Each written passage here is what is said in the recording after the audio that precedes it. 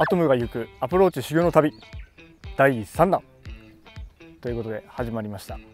第3弾。なかなかアプローチ上達しないんでまた今回もスペシャルゲストの方を呼んでます。2年連続賞金王になった方ですね。すごいです。スペシャルゲストこの方です。どうぞ。よろしくお願いします。お願いします。お願いします。今平修吾プロです。よろしくお願いします、はい、お願いします。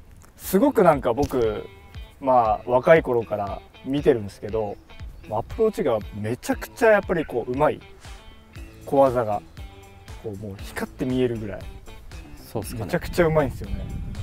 そんなことないですけど。そんなことないですか？そんなことはない。でしかもあのね修吾は大体クラブ1本でアプローチするよね大体。そうっすね。転がしも上げるのも大体ウェッジ1本じゃない？全部60度で打ちます。だよね。はい。プロゴルファーにしては珍しいと思うんだけど、はいそういうところもちょっと聞いて聞いていけたらいいなと思ってます、ちょっと今日はよろしくお願いします,、す。じゃあまずはちょっとお手本を見せてもらいましょう。またあの黄色のはい。ピンの方でちょっと打ってもらっていいですか、まあちょっとふわって上げて、でまあピンと。ふわって上げまあてどの辺に落とす感じ？エッジから2ヤードぐらい落ちて転がるような感じですかね。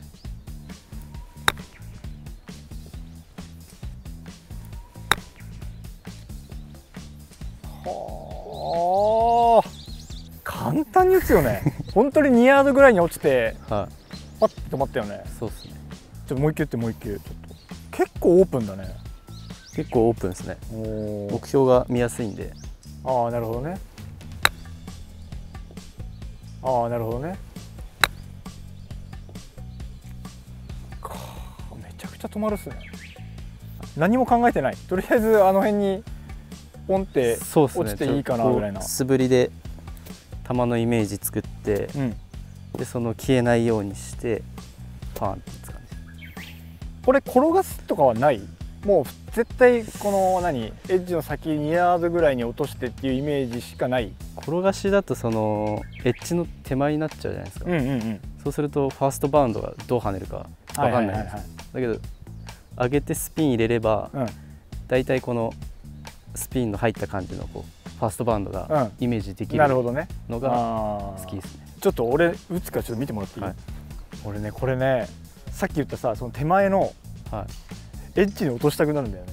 ああは下手すぎてだから上げた時にい。はい飛びすぎそうな感じがしてあだったら最初からそこ狙い狙いみたいなこういう形の構えにあなっちゃうんだよね。それはエッジに落ちてもその手前に落ちても OK みたいな感じですか？あそうそうそうそう。手前に落ちてだからとりあえず乗って、ワンピン弱ぐらいに寄れば勝負できるかなって感覚なのよ。なるほど。下手すぎるからね。そのはい。もうイメージが湧かないから、はい。で逆にだからこの状態だとさじゃあ飛びすぎた時にはい。こう行くわけじゃんあの傾斜に沿って、はいはいはいはい。そしたらさ次のパットが難しくなりそうなイメージがあってだったらこのピンとエッジの間のどどこかにあればはい。まあなんか勝負できるかなっていう感じで打っちゃうんだよね。じゃあとりあえずでもちょっとはい。集合が打ったようにちょっと打ちたいから打ってみる、ああいいじゃないですか。ああいいじゃないですか。俺成長してんな。成長してんな俺。今平プロのイメージだと例えばあそこがもしぐちゃってなってたらああそうそうそうでやっぱその落ちる場所がなんかちょっとディボットだったりしたらそうねそうなんかねドンって止まっちゃったりするじゃないですか。そうね。それが嫌ですね。でなんかちょっとこうふわって上げて飛んじゃったとしてもうん。スピンで止まってくれそうじゃないですか。なるほどなるほど。それでなんか悪くても奥で奥に2メートルぐらい止まってくれるかなみたいなイメージで打ちます。まあもうだもうきょまあそれでも許容範囲なんだねはで修吾さちょっとこうあの毎回恒例のいはい。ちょっと足位置ちょっと立ってもらっていい、はい。その俺がそれに合わせて立つから。今までのは1段目あの第1弾が藤田さん、第2弾が手島さんだったけど、基本的に自分自分ね僕が構えてる立ち位置よりも遠かったのよ若干、俺結構この辺で立っててさ、足こうやって揃えてやったらさもうこういうとこにあるわけよ。はいはい。結構。で手島さんなんか特にえ藤田さんはちょっと若干ハンドダウンするからさー。離れて見えるんだけど、はい。手島さんは離れてるように見えないでしょ？見えないですね。ちょっとそれやちょっとこれちょっと毎毎回恒例でちょっとやろうかな。僕結構近いと思いますよ。近い？はこだここだっていうね。あここだっていうねあ近い。これは近い。一緒ぐらいですか？ああそうね。距離感的には一緒かもしれない。でもこっから結構今開いてたよね。はい。ちょっと軽く開いたぐらいです。これ何？これ近くてもいいのかな？迷うですね。なんかなんか遠いと難しくないですか？なんか。いや俺もだからそのイメージだったんだけど、あのお二人は違ったよね。近いとなえなここをちょっとこうこうあこうね振りを近いものって何つったっけ？振り遅れる。ちょっと合わせるんだってこうやって。緩ませて合わせようとするんだって近いものって。遠いものはどっちかというと振ってこうやって合わせに行くんだって。遠いものって。はい。だから緩まないって近ければ近いほど緩むっていう考えだったの。へで集合やってみて。俺俺俺が覚えてる感覚よ。えはい。手島さんとか藤田さんの感覚よ。ちょこれこれに合わせてみてこれに。遠いこんな感じだったの。遠いでしょ。ちょっとこれで打ってみて。これ。これちょっとめっちゃ打ちにくいですね。ちょっとめっちゃ打ちにくいですね。こんな遠いんですか？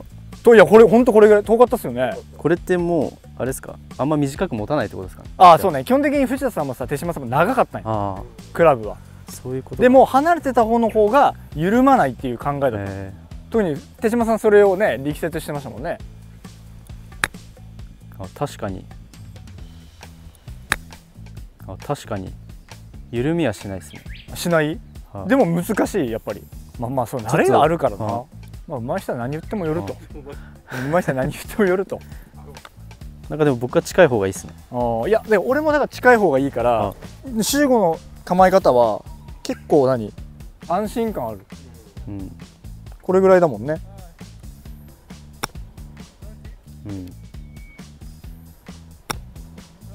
うんいやめ全然うまくないですよ。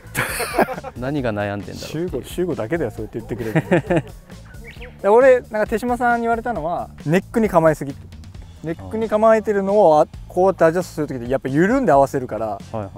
できれば遠側に合わせてくれって言ってたのこうやって。まあ遠側っていうかまあまあ芯より先目はそうすると緩まないって言って。